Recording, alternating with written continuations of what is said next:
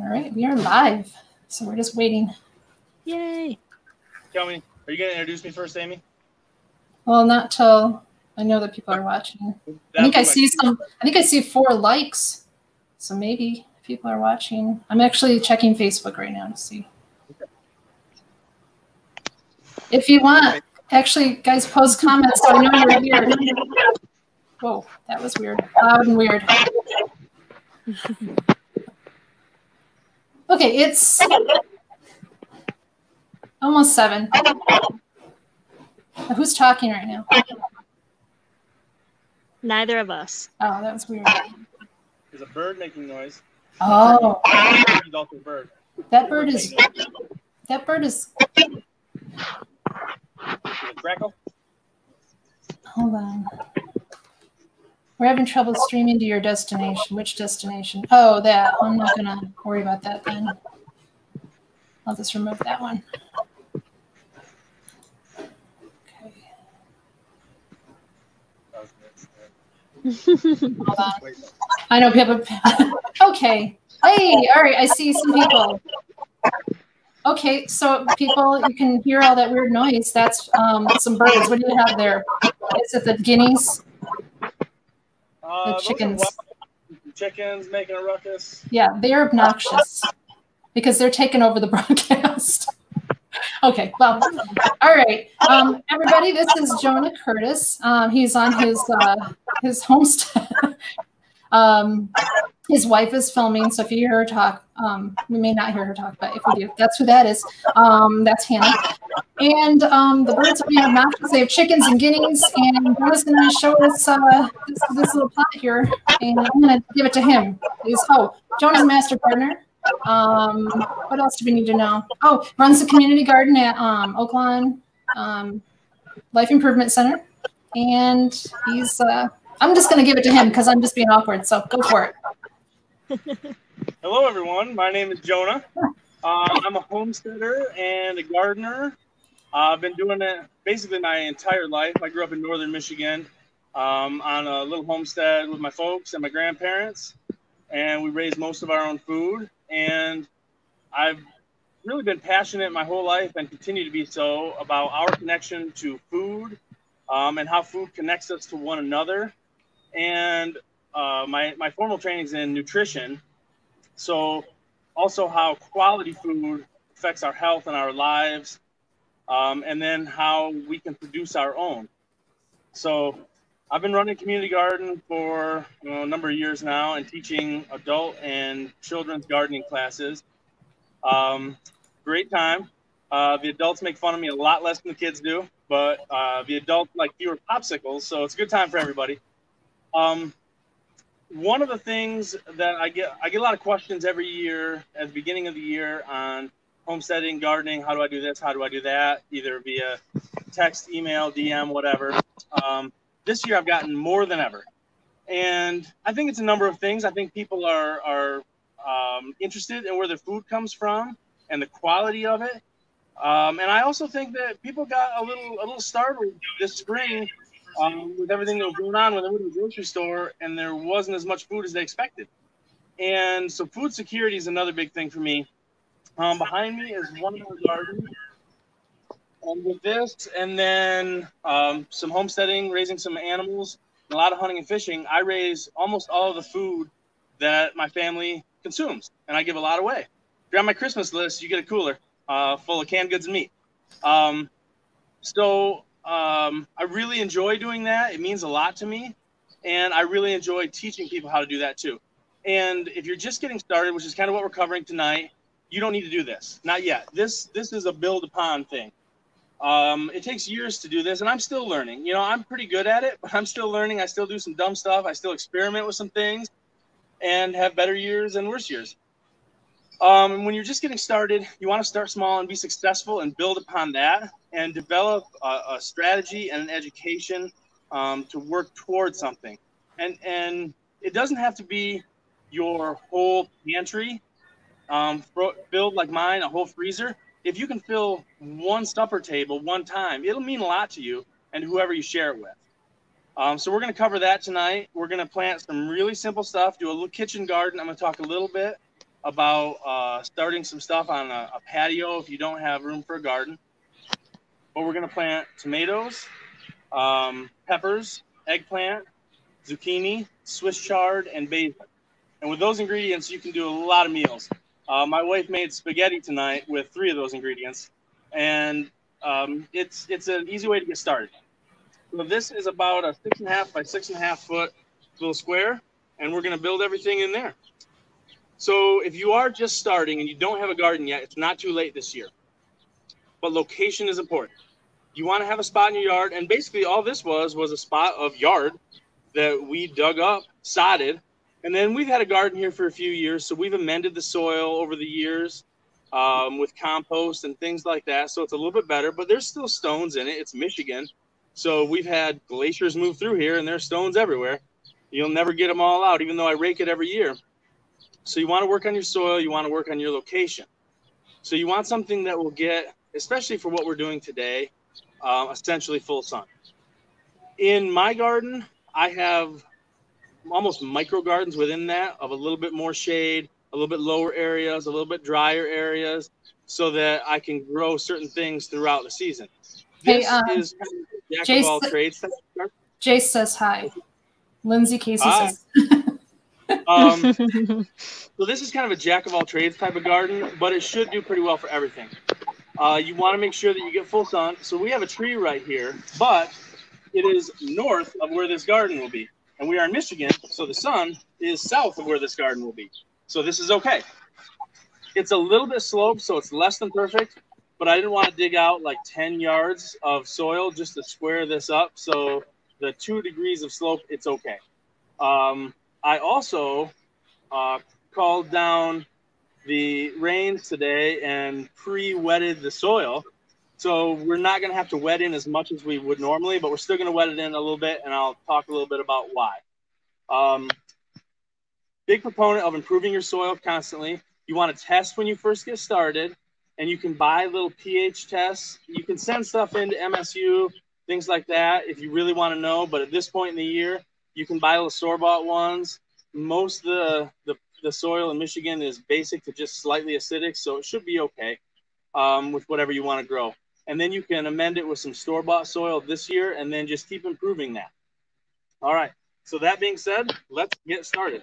We're going to start with the uh, my favorite, some tomatoes. I love them from my head to my toes. All right. So I like to use a mulch and one thing I've been working on um, over the last couple years, I use some plastic ones because they're effective, but I'm really trying to get away from that and do more paper. This is just some recycled scrap paper, and it works pretty well for a couple things. We're going to do some weed suppression in that it blocks light from the soil, so the weeds will have a difficult time growing through. It uh, maintains soil moisture by slowing evaporation, and it maintains soil heat by slowing the cooling process in the evening so the soil stays warmer throughout the night. So we are going to get started and do a tomato. So this is one that I started. So tomatoes have little hairs all throughout the stem. They're a vine. So the deeper you plant them, they will root. And this one, it's a little root bound, but not bad. So we're going to start by placing this where we want it. And we're just going to bury the corners a little bit. Oh, and Mr. Toad is joining us in the garden. And Hannah read my mind. Moving closer. I like it. and then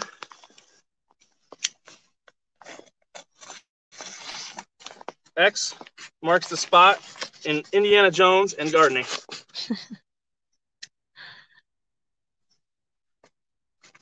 so we're just going to make room for it. Dig a little bit of soil up. Dirt is what we clean from our fingernails and sweep the floors with. We plant in soil. So, and I like to use some of my soil from my worm castings um, when I put it in. It's just some high octane worm poop that really gets things rocking and rolling and I go just a little bit deeper. I don't go hog wild. It kind of depends on the tomato. This one's pretty solid looking. So I'm going to go just a little below the line of where it was. And we're going to pack that down a little bit. Pack the edges just so it doesn't blow away. And I'm sure that the rain that will be soaking me here in a few minutes will also wet this nicely. And it'll help this tomato to really thrive and get off to a good start. All right. We're going to do another one over here. And if it weren't raining, you'd have to water it, of course, right? Uh, we're going to water them both in anyway once we get them going. Okay. We're going to water everything in. So even though the soil, it's rained a little bit, um, but the soil is still not as damp. So these have been watered. I've been all over watering these. These are off to a great start. There are a lot of varieties of tomatoes. These are both indeterminate. So there's determinate and indeterminate, and essentially that's whether they're canning or um, slicing tomatoes. And these are both, um, actually this one is a cherry tomato. That one is an indeterminate, so it's a slicer, season-long slicer. Um, when you're just getting started, unless you're going to do some canning, I would look for indeterminate tomatoes. They'll give you tomatoes throughout the growing season. They're great slicers. They're fairly easy to take care of. Well, I've been watering these. So this soil is more moist than this soil.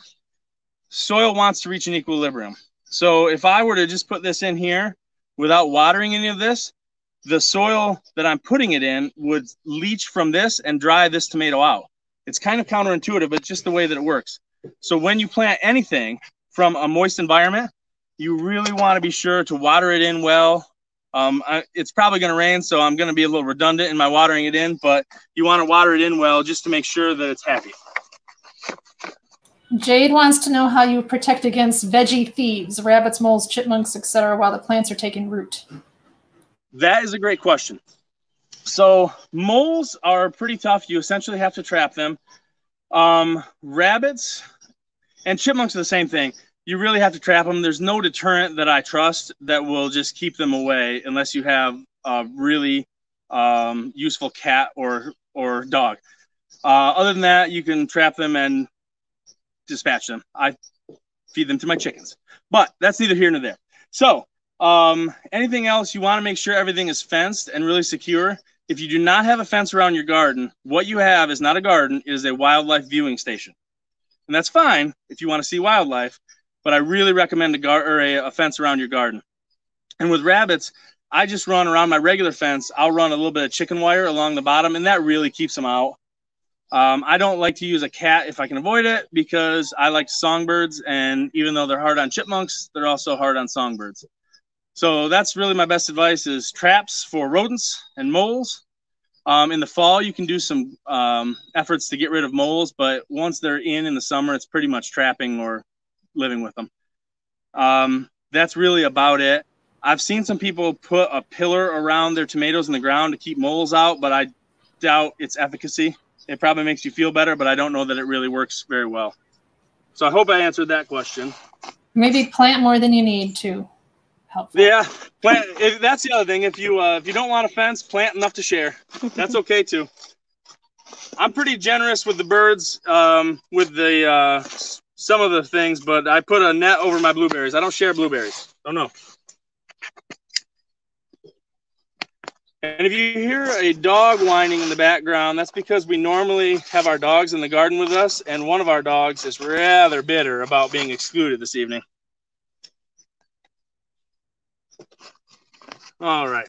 So we're going to get this down nice and deep. And Jade said thank you. You are welcome. Jade. And there are several other people who are um, excited to be here and just want to say hi. Well, hello, everyone. Um, thank you for being here. And I hope you get something out of this. And I'm happy to answer questions during this or after. Um, I'll make my social media available and you can ask me questions on there. And again, this is some of my um, vermiculture soil.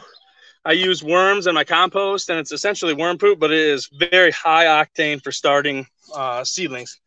So I'm gonna grab a little water and we're gonna kind of water in as we go.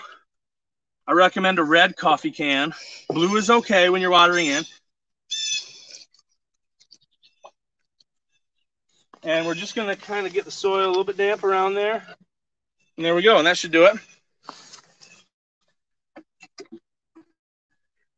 And as uh, the nice thing about this paper, and I'm going to use some in the community garden this year also, is that it can be tilled in. You don't have to clean it up. It's essentially, you know, it's organic matter. So it can be tilled in and you don't have to pull it up at the end of the year and it's not leaching anything in. It's just recycled, dye-free paper. All right. So we are going to do some zucchini.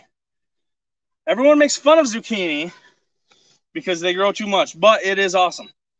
So a little bit about spacing now that we've got a couple things going here. Um, I try and keep tomatoes three to four feet apart.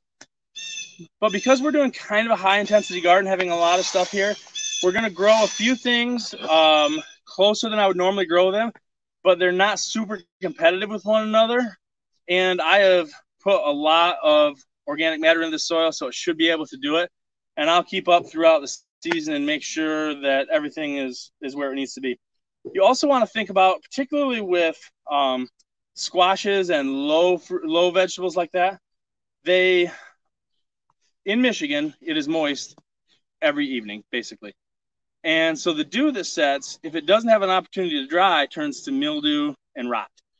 So with cucumbers and zucchini in particular, but other bushy squashes, uh, you want to make sure that there's enough airflow. So with cucumbers and some squashes, I'll trellis them. With zucchini, I'll hill them a little bit just to get enough airflow through there so that they they're happy. Uh, so that by the time the sun hits them, they're essentially already dry and that there's no powdery mildew issues. So we're gonna make a little hill and I'm gonna space these out just a little bit. They're gonna be a little closer than I would normally do, but I'll probably actually cull. Um, I have four plants here, but I'm gonna put them two are together. I'll probably cull them a little bit and pull one and see who looks who looks better as we go. I have the most confidence in this guy because there's two. So we've hilled it just about five inches here. And then we're going to pack him in a little bit. Gently nestle him in. We're going to do another one here. This one.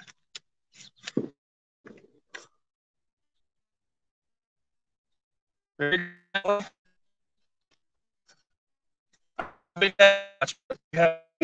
gently. seedling. Oh. All right. A little more soil around there, so that's a little more structurally sound. And you can see you can see the quality of some of the soil here. I've got worms for days there.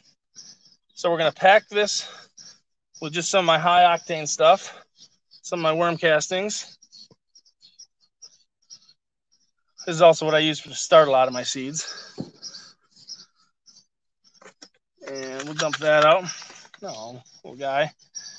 All right, so these guys should get enough airflow, especially because most of the wind comes out of the west. It'll blow through here um, and keep them pretty happy and without getting any mildew. So our zucchini is in.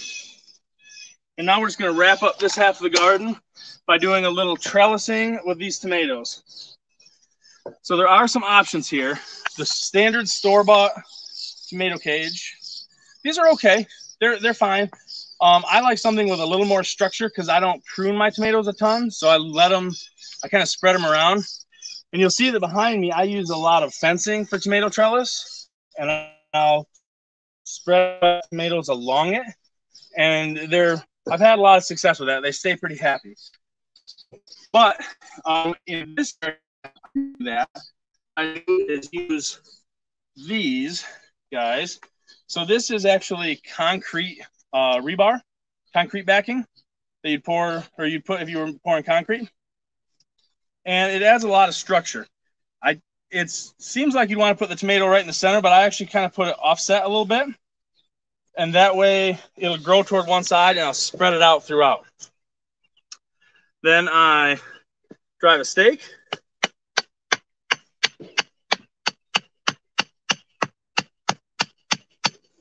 And here we have one of the greatest inventions of the 20th century, Velcro. This is reusable. This is how I tie up essentially all of my tomatoes and a lot of my mining plants. Just little strips of rolls, reusable for years and years and years. So I just put one around, make it kind of tight. And as this tomato grows, I'll use Velcro as it goes up and around and kind of prune it a little, but basically use this cage to provide structure to the vine. All right, we're gonna do one more on this one.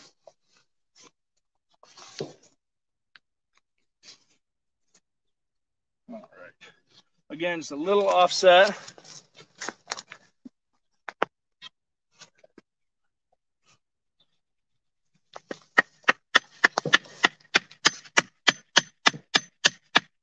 And you don't have to drill to the center of the earth, but uh, we we get wind gusts around here of like 50 miles an hour every time it storms. So some a fair amount of structure is not a bad idea. And this should hold it as we go. All right. So we have next we are going to do some peppers and then we're going to do some peppers and then some eggplant and then kind of build around that. So these are store-bought jalapenos. I usually start my sweet peppers from seed, but the jalapenos, um, I don't need very many, so I just buy those. All right. So we'll do those here. And again, a little bit of spacing. And I'm going to come through and put flowers in the corners. So I leave a little bit of space in the corner, and I'm just going to put a little bit of marigolds in there. So we'll go about right here. Now these guys only need about a square foot or so each. Tomatoes need a bit more than that. And now with tomatoes, we can plant them deep because they will root along the vine. Peppers are not so. With really any other plant that you're planting, you generally want to go stick with basically the soil level that we had. Uh, if you go any higher, if you tension it too tight, it almost girdles the plant and doesn't allow nutrient to flow back and forth. So we're going to go just essentially at ground level. And I usually do a little bit more because I find that the seed starting mix dries out a little bit more quickly. And so I will just cover a little to avoid uh, the moisture loss through the air. All right, so then if we do our next one right about here, it should be pretty happy It's a little over a foot away. We're gonna put the jalapeno in there. I can already taste the uh, stuffed jalapenos on the grill. Fire up the grill, basically ready already. All right, and that's about it for planting depth on those. square that up a little bit. And I'm gonna water the rest of these in right at the end so that we can kind of get some more stuff in the ground. So on the other side, I, I don't love symmetry. No, I don't need symmetry, but I enjoy symmetry. So we have the, the tomatoes and the uh, zucchini in a fashion there. We have peppers on this side. On their opposite, we're going to put some eggplant. Now, eggplant is okay for me. My wife and my mother-in-law love eggplant. So I grow a lot of eggplant. Okay. So we're going to try and line up with essentially the same spot and square it up. And about there. Jim Hadsmith and again, says, uh, sorry um, to break in. Jim Hadsmith says, thank you for presenting this on Facebook Live. My pleasure. and thank you for no one commenting on how sweaty I am. Yeah, I appreciate that. In the kids gardening class, they always make fun of me for that. but then I put their popsicles way up high and make fun of them for being short. All right, I need to grab my soil.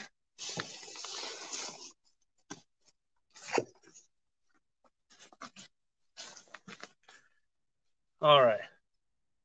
Did you say you you uh, grow the or the you have the worms that make the castings, or do you buy that? Uh, I have those. Okay. I I have um they are two by four frames. Um, they're about oh, what are they? Uh, probably about 12 by 16, something like that. And they're two by fours with a hardware cloth. And I stack them and add compost. And then I added worms from our big compost. I have some inside. I'm trying three different ways. I have two inside, one with night crawlers, one with leaf worms, red worms, one outside with red worms. And then I rotate the stack through. And as the worms eat everything and they waste it, hmm. um, all the boxes essentially filled with worm poop, which is about as good of soil as you're going to get. I, it just is top notch for adding to anything. So yeah, I have I have three boxes going of hmm. worm castings, Thanks. and it's what I usually start my seeds in. Uh, and then I usually have quite a bit left over, and I'll add it, and I'll add it to the greenhouse as I go. All right, so we're gonna go back to the other side, and we are going to So we have our peppers in and our eggplant in. We still have to water them in. But now we're going to talk about, in my opinion, the most underrated green there is Swiss chard. If I put lettuce in here, it would be pretty sad most of the year. Uh, it's just too hot a lot of the time for lettuce to be in full sun, in my opinion. It's wilty and it gets bitter quickly. Swiss chard is much more durable. It's a little bit tougher, but it's also more versatile. It'll last longer in the refrigerator. You can cook it like you would spinach, or you can eat it fresh like you would in a salad. I do recommend cutting it first thing in the morning, and it's much better than if you cut it later in the day. Uh, it's kind of an old timey one. I'm really trying to bring it back into vogue. Let's make Swiss chard cool again, please. All right. So I have some seeds that we're going to put in on that side, but these are some that I started in my greenhouse, and we're going to put them right here. And we don't have to worry a ton about spacing with the tomato because they're not super competitive with one another. So, yeah, these you can use like you could use. I mean, they're really versatile. You could honestly darn near use them like you could cabbage or collard greens. Uh, I'm not going to pull them apart. I'm just going to put them in as is. And they'll be plenty happy because I have really good soil in there. And we're just going to nestle them in. And they look like they're a little bit smushed. But as soon as they get a little bit of water, uh, they are going to pop right up and be just killer. And they grow pretty large too. And there's kind of a lot of varieties of colors. And I'm a big fan of color varietals in food. You eat with your eyes first. And so if we have, like these ones are kind of have a pinkish hue to them. I have some that we're going to plant, uh, some more like that. I have some over there that have a magenta. I have some yellowish ones. Uh, there's some candy cane striped ones that are very fancy that I like. Um, all right, so let's do, we'll do one more row about right here. That way there's room to weed in between. You want to leave yourself room to work or to put your feet. I have done that before. Uh, it's a common mistake and one that I continue to make where I plant things too close together and I uh, forget that I have giant ogre feet. And then so I can't get in between them. And then my wife has to weed the garden. It's the worst. Yes. Um, yeah, or I have to go on my tiptoes barefoot. and I am almost exactly as delicate as I look, so that doesn't work very well, and I smush things. And don't be afraid to dig with your hands. Getting your hands in the soil does it really does wonders, and that's one of the coolest things um, that I've seen with the kids gardening class. How'd you get in here? You're lettuce, but we're gonna put you in there anyway. We'll just eat you sooner. Um, one of the coolest things I've seen in the kids gardening class, and I talk about this all the time, is that when you just see a tomato, it's just objective. It's just a tomato. But when you grow it, it's my tomato. And when I have kids do that, it really makes my day. But having adults do it too, it just changes the way you view your food. It's not just a thing, it's your thing. And when you give it to someone else, you are you're providing nourishment um, and a part of yourself, like something you worked for. And you know the look when someone hands you food that they worked on, they have a, a look of anticipation on their face that is just awesome because they want to see you enjoy it. And that's one of the, receiving that is fantastic, but giving it is awesome too. I love giving food away because I love seeing people enjoy it. in fact, that's about the only request I make when I give food away is you have to send me pictures of what you cook. And I get a lot of cool texts um, from people who made awesome meals with food that I gave them. And that's that's all I'm looking for out of this deal. I just want to see it. All right, so let's put some Swiss chard seed on that side. We haven't put any seed yet in, so we'll talk about that.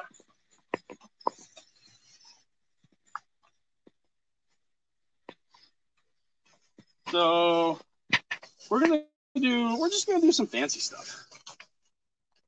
You away for now.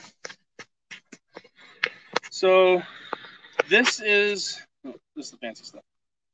So we have the pink Swiss chard, which I have some over there. And then we have some magenta, which is my third favorite crayon right behind burnt sienna. All right. So we are going to trough some rows here. And we'll start with the magenta.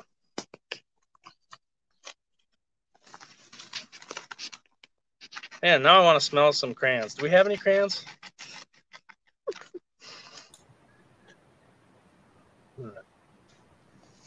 Also, Hannah and I recently found out that we are pregnant with our first child. So I am going to be growing um, a lot of maybe not new foods, but using them in new ways to try and make all of our baby food. And I'll also get to play with crayons again. All right, so we have those in. I'm going to put some soil over them right now.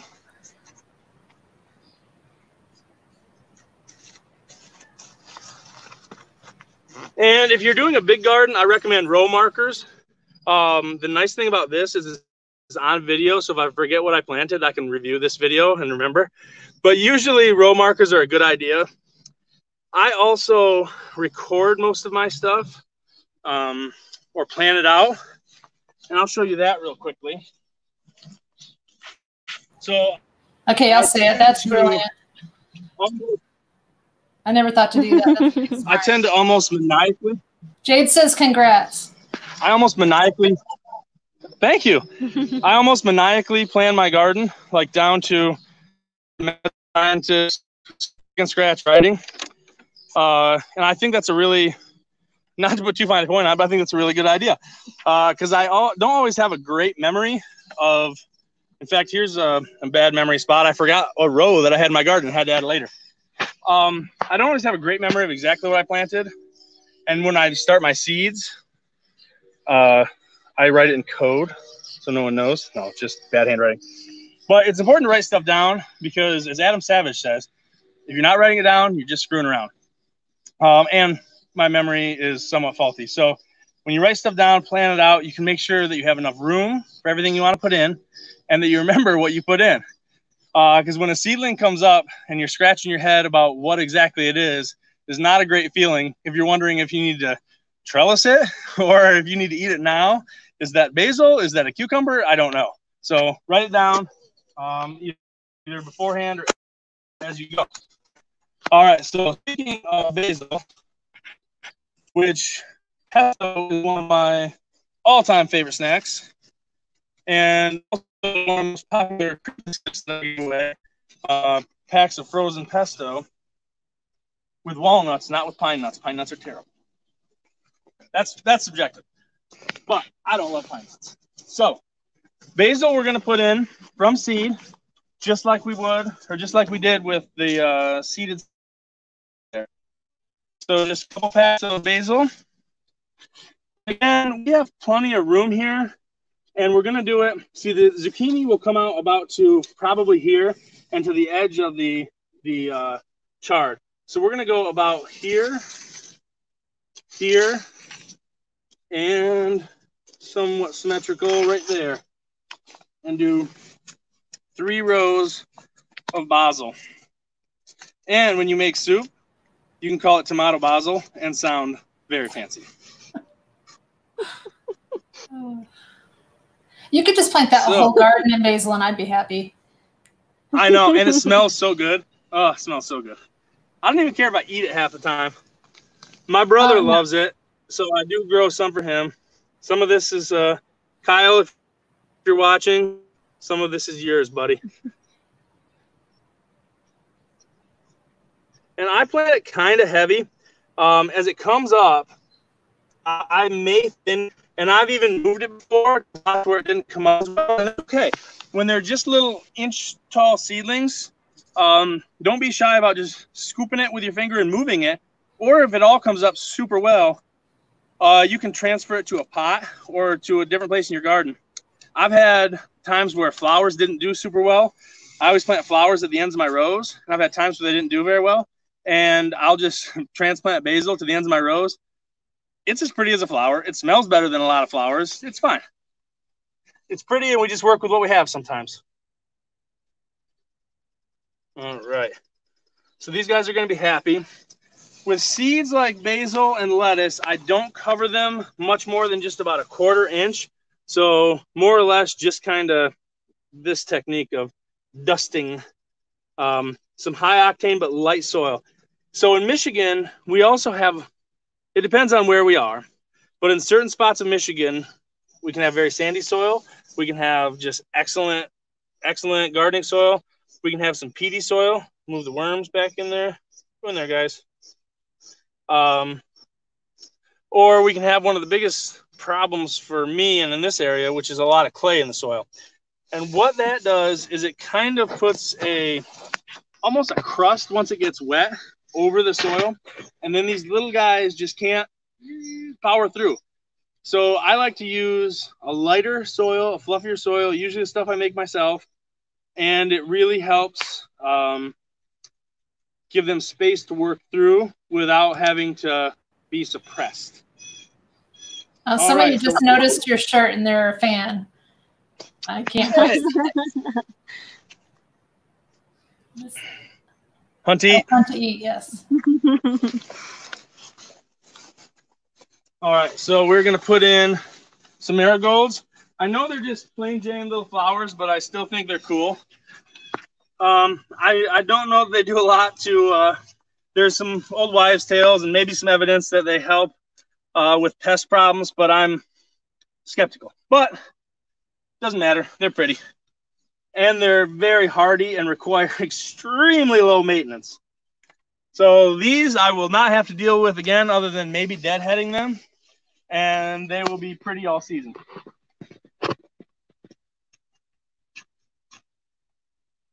And sometimes I don't even dig. I'll basically put like a little wedge and just use the edge of my spade to kind of form a dam to keep the soil back.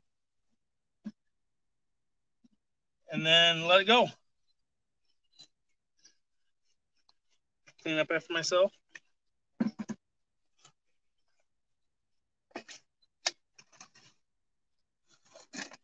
All right. Number three is kind of uh, a little stunted, but I believe in him. He's going to thrive here for many months to come, and we'll give him every opportunity to do so. The last little friend, we're going to place this pretty little gal right here.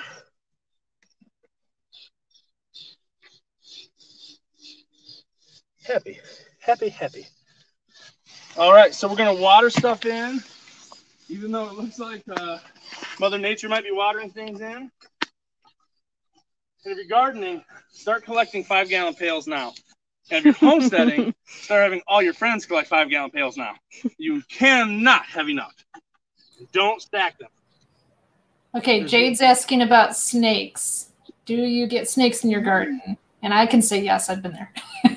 yes, I have lots of snakes. I love snakes. I actually try and create an environment where snakes are happy here. Because I have snakes, I don't have very many slugs.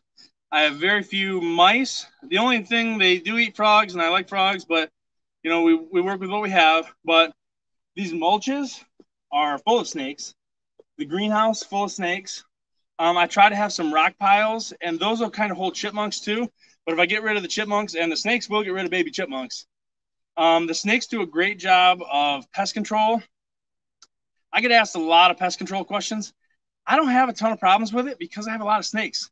Now, I'm a very tough guy, but they are startling when I grab one when I'm pulling weeds and I yank up a snake. I'm not proud of some of the noises I make, but I still love having them around. Um, yeah, I, I encourage having an environment where snakes are happy. Oh, what kind? I see mostly gardener snake or garter, garter snakes. snakes. Yeah, garter snakes. Um, I the only I've seen a, a couple of milk snakes and rat snakes here, and a blue racer every once in a blue moon. But garter snakes, a hundred to one over anything else I see here. So probably nothing more than a garter snake, snake in like the suburbs. Wouldn't you say? What's that? Probably none of the blue racers or any of the weird ones in the suburbs. Um, I don't know. I've never been to the suburbs, That's but um, I'm sure there are snakes there. They're probably maybe not because some of them, um, some of them require a little more wilderness than would be available there. But a milk snake would not shock me to see in the suburbs, or a rat snake. Probably not a blue racer, but lots of garter snakes for sure. This and is when you're supposed I to tell people not to be afraid. This is people should not be afraid of them. Yeah, um, they're not going to go after you, right? In Michigan, in Michigan, there are a venomous snake is extremely rare. We basically have two varieties, really only one. And I'm out more than about anybody, and I've only seen them a couple times in my life, and I spend a lot of time outdoors. You're not going to see one. They're not going to harm you. Most of you, all the snakes you will see in your life will not be venomous. They will be harmless snakes. We're just trying to do snake stuff. Um, and they're not harmful to your garden whatsoever. I really try and have a live and let live approach with critters unless I'm going to eat them or they are harming things I'm going to eat. Uh, I have eaten a few rattlesnakes out west, but snakes don't really harm you. They won't harm your garden. Just leave them alone. Uh, try to be courageous when you see one and not be startled. they are startling. They are startling. There's just some visceral reaction to a snake that they are they are startling. And when you see a big lump in one, you wonder what it was. I do wonder that. That's pretty cool. And we'll just water these in a little bit. I, I usually kind of side water rather than run it right out um, over what I just planted. It'll make the soil around it moist enough and should be happy.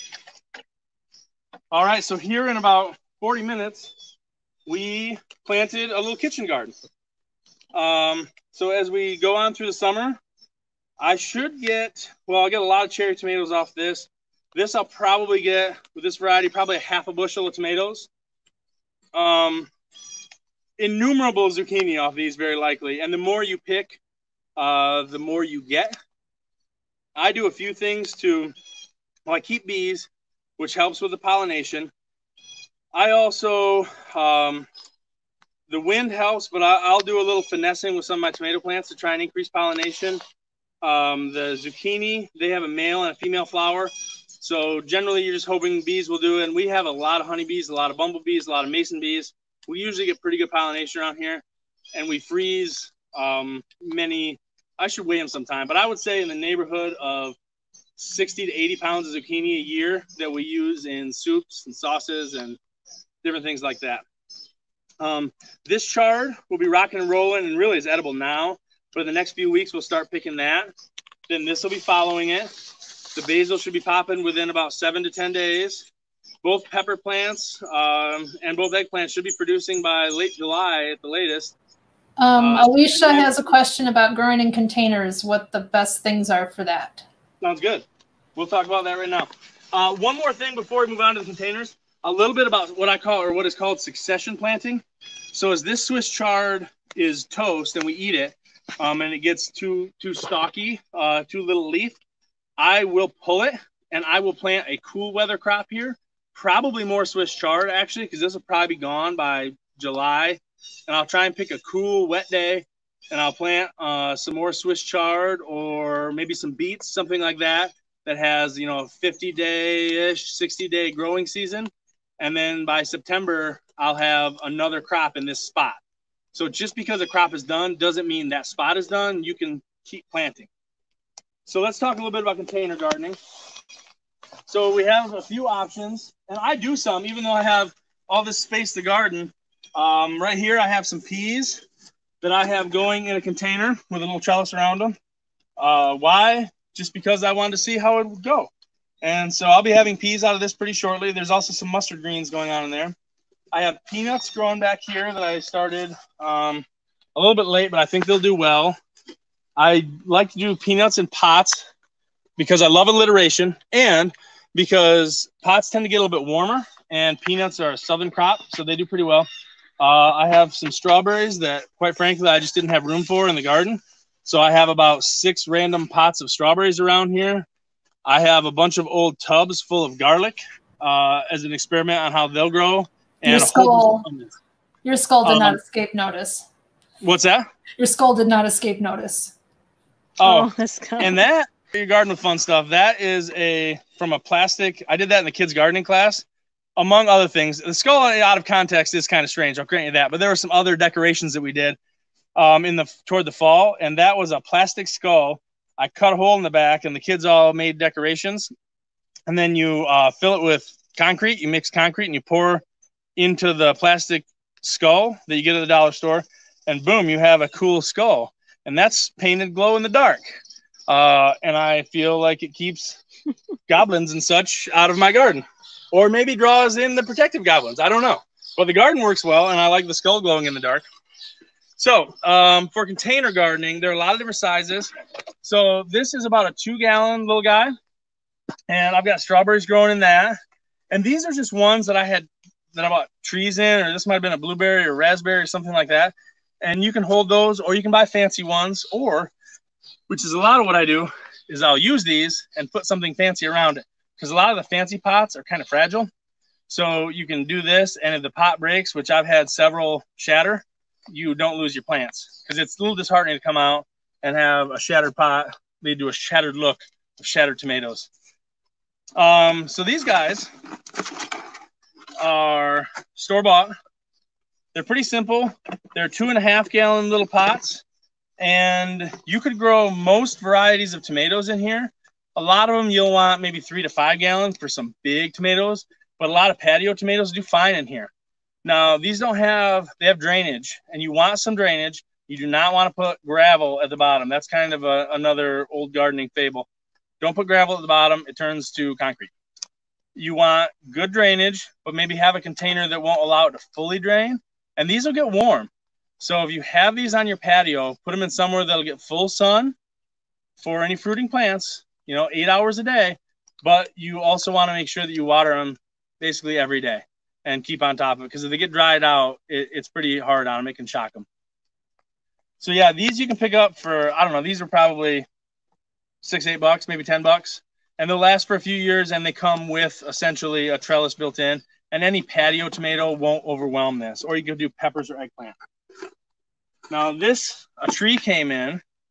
Uh, it works very well. It's three gallons, so it works for most tomatoes. And if you put it right on the ground, even though there's drainage, it, it won't flood out. It'll stay fairly moist as we go.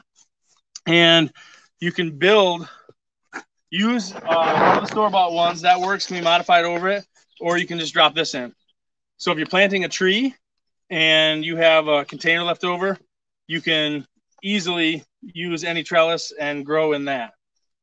And these, there are fancier ones. I, I like some of the fancier ones, but a lot of them are designed to uh, attract gardeners, not grow gardens. And they look really nice, but they don't always work really well. So make sure you run it by somebody who knows what they're doing because some of them are just more flash than substance. One that I do like, and it's great for beginner gardeners, um, it's not great for every plant, but and there are a lot of containers like this, and there are some pots like tomato, eggplant, pepper pots. They're like this, self-watering. This reservoir is full of water. So I had some stuff in here. You can hear it sloshing. So you can fill this with soil. And I got these for my nephews, and they grew a bunch of strawberries in here. They've grown Swiss chard, they've grown lettuce. Uh, it works really well. And they're fairly inexpensive, and they last for a long, long time and they're ones that'll fit over a rail on your on your deck. I guess my bottom line is with container gardenings, you don't have to spend a ton of money if you don't want to. I mean, people may be impressed by your fancy containers, but I'd rather be impressed by fancy tomatoes. So there are a number of ways to go about it. You can these are probably thirty dollars, but they'll last you for years and years, and they give you a little wiggle room in that they self water. I mean, you still have to water them, but they have a reservoir that the roots can draw from that can buy you some time if three days later you're like, man, I feel like there's something I do every morning that I haven't done in a couple days. And that thing is water your plants. Um, yeah, I guess that's about it for container gardening. There are baskets. There are gimmicky ones that I don't really buy into, like the upside down tomatoes.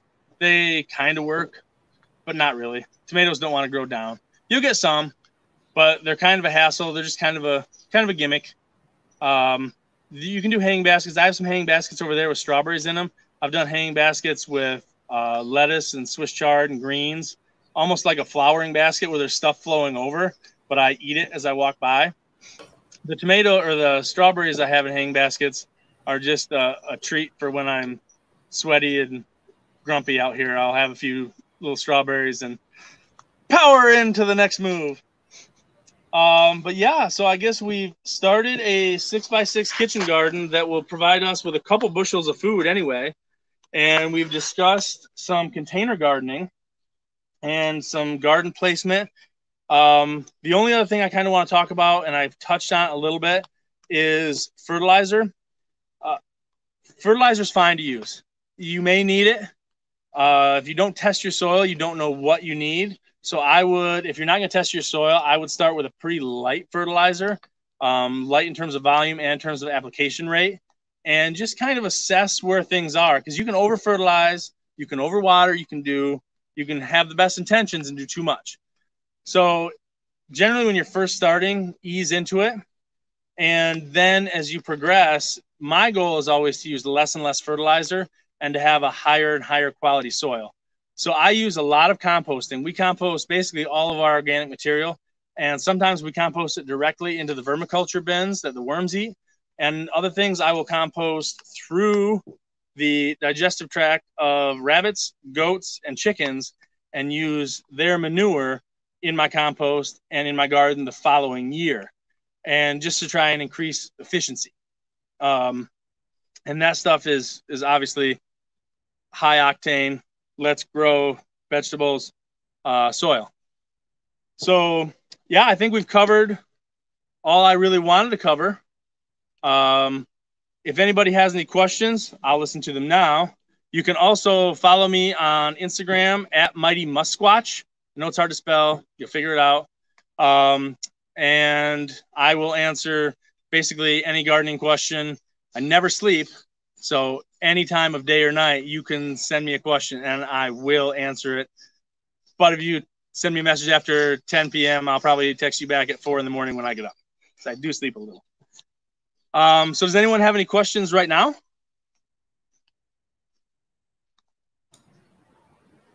How do you sign up for my kids' gardening class and what kind of popsicles do we have?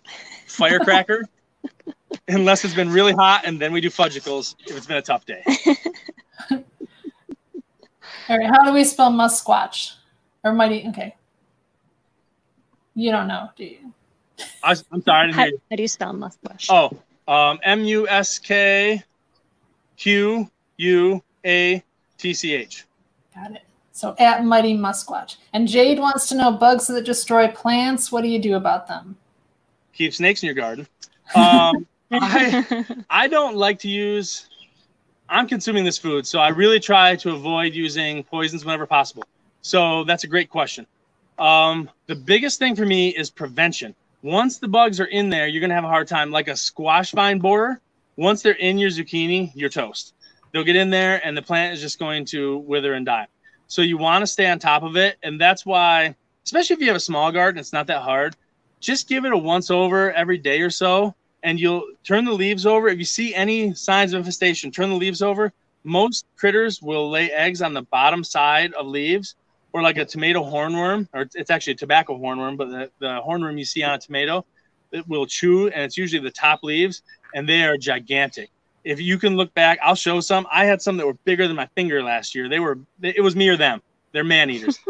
um, but basically, I start with inspection and trying to stay out in front of them because once they're in there, they multiply at a rate that is difficult for a human to conceive and keep up with. So stay out in front. Then you can use some poisons. You know, there are things like uh, Sevin-Dust, and different variations of it that will kill a lot of those bugs. But I'm not a huge proponent of putting any toxins on anything I'm going to consume. So I use a lot of diatomaceous earth and spread that around. I'll use some neem oil. Um, those are kind of my go-to, and they're more of a deterrent than a killer. If you have slugs, you can use uh, cheap beer and a frisbee, and the slugs will go in there and and drown. And that they're a big problem. Um, cutworms, when you're first starting, can be a problem. You'll see like this this pepper plant. I could come back tomorrow, and it looks like Paul Bunyan came in there and just chopped it down. And what that was, a little tiny worm, a cutworm that goes in there and just chews it and timber and down it goes. I'm like, dude, why? And they'll do it with five instead of just eating one. But you can stop that with actually a little chunk of uh, toilet paper roll, which everyone's been hoarding. So we can put those around there. Um, any kind of barrier. But again, the diatomaceous earth works for that. For us, it's like a fine little sandy powder. For them, it's um, like one of Amy's favorite songs, "Walking on Broken Glass," and it's it will stop them. uh, yeah, so those are kind of my go-to. I guess if I had to pick a couple, diatomaceous, well, prevention, diatomaceous earth, and then neem oil is kind of my other one. There's a question about guinea pig poop. Is that good in the compost bin? It's a Carrie wants Heck guinea yeah, it would be. It's essentially they have about the same digestive system as a rabbit, so it'd be very good. Um, I don't know for sure how efficiently they they consume, but I I don't think it'd be very high in nitrogen. I imagine you could almost use it right on plants. It might be a little seedy in that if they were eating hay, uh, there could be seeds still in it, so you might get some weeds. But I don't think it would burn your plants. You could probably put that right on, but you could certainly compost it, and it would work. Absolutely. I think. I don't want guinea pigs. I just read a thing um, where someone claims that they have five guinea pigs that they use to mow their lawn. They must not have a very big lawn, or they have really hungry guinea pigs. But I use rabbits to mow. I have little cages that I move around with rabbits that mow a lot of this. Yeah. Um, I mean, I still have to get out the mower for sure, but they're a lot smaller than I've got some pretty chunky rabbits, and a lot of them. Let's see if there's anything. Might be something new. Let's see. Oops. Um, someone, a lot of people saying thank you. Um, thank you. And no, thanks for coming. Um, I learned a lot. I hope I didn't talk too fast. If I did, again, ask me questions whenever. Um, it doesn't have to be just gardening questions. I am pretty knowledgeable not to uh, uh, my own horn, but I'm pretty knowledgeable on homesteading, uh, on homesteading stuff and food preservation type of things, and I love sharing that information. I probably overshare that information, especially because I ruminate on things and just think about things a lot. So I do a lot of like homesteading or gardening experiments. So I have a lot of weird things that may or may not work out. So don't always try just because I show something because it may be an utter failure. But sometimes they work. Sometimes they were good ideas. Like the rabbit lawnmower, good idea.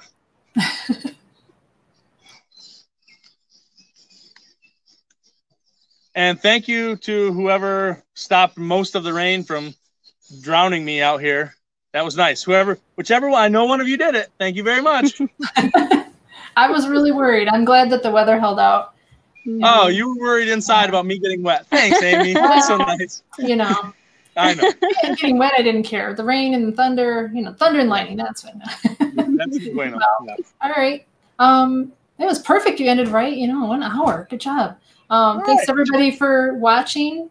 And um, thanks everyone. Let's, let's hope we can do this again. Yeah, hope so. All right, all. Have a good night. Thanks, everyone.